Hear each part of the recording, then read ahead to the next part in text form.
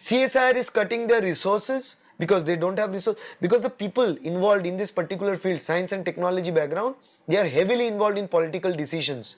They are powerful people. They are sitting in there and taking decisions all over. Right? So they don't want to distribute their precious time in the field of life sciences. That's basically the truth.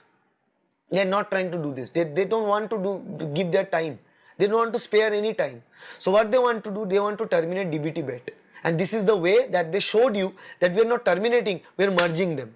But in reality, they are actually discouraging life science candidates to take zoology, botany, physiology as their subject of stream, microbiology as a, as a stream of their subject. They don't want you to do that. Is that the reality that you want to do?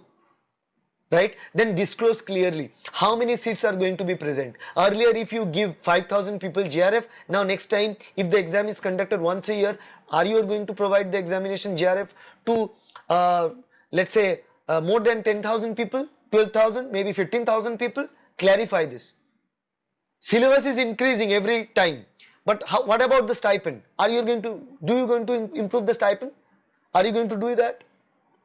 Please elaborate whether the stipend is going to remain the same or is going to change.